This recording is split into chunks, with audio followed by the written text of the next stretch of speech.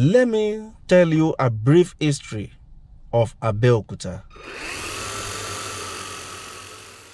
Abeokuta was founded in 1830 after the intertribal wars ravaged refugees in Egba forest from their original homes between 1817 and 1830. The name of the town Abeokuta was derived from the protection which the fleeing settlers sought under Olumo Rock, now a tourist center in the town. Abeokuta means the refugees under a rock, signifying the protection which the Olumo Rock offered the refugees from possible attacks. Abeokuta is the capital of Ogun